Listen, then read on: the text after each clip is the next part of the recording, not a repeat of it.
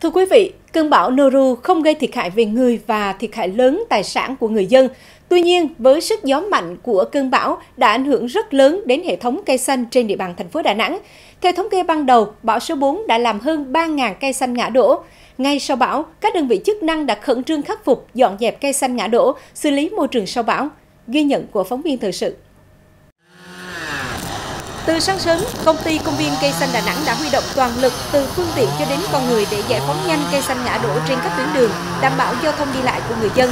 Công việc này được thực hiện theo tinh thần nhanh nhất có thể. Đến trưa nay, hoạt động giao thông trên địa bàn thành phố đã trở lại bình thường. Trên giải phân cách đường 30 tháng 4 là có cũng à, 18 cây à, ngã đổ và bọn em đi à, ra quân từ lúc 7 giờ để xử lý giải phóng ách tắc giao thông trên cái tuyến đường này. ở đội là huy động toàn lực, ở đây khoảng 80 người. Cùng với công ty công viên cây xanh, gần 2.000 công nhân thuộc công ty cổ phần môi trường đô thị thành phố Đà Nẵng và công ty trách nhiệm hữu hạn một thành viên môi trường đô thị Hà Nội chi nhánh tại Đà Nẵng ra quân dọn vệ sinh môi trường, thu gom cây ngã đổ trên đường phố. Bão uh, xảy ra thì công nhân tụi em thì rất là vất vả. Thì ờ, lượng rác ấy thì ờ, của dân thì ít nhưng mà lượng ờ, lá cây của cây xanh đổ ra thì rất là nhiều.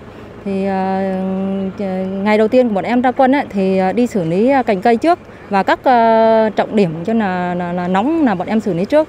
Rồi sau đó là tụi em sẽ xử lý ra rộng ra toàn địa bàn ạ.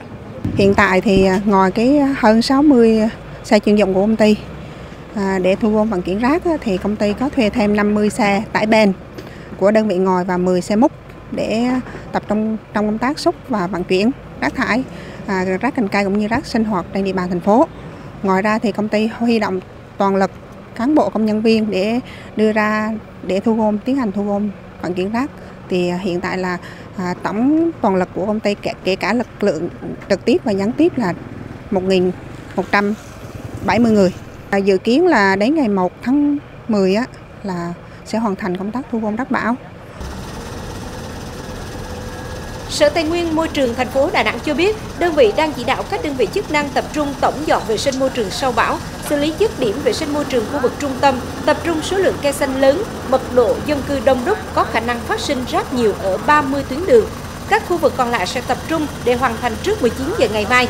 Ủy ban nhân dân thành phố Đà Nẵng cũng giao nhiệm vụ cho các quận huyện vận động các hộ gia đình, cá nhân tổ chức dọn dẹp vệ sinh môi trường, đồng thời chỉ đạo chằng chống cây xanh ngã đổ trên các tuyến đường do thành phố quản lý, phấn đấu hoàn thành trước 17 giờ ngày 1 tháng 10.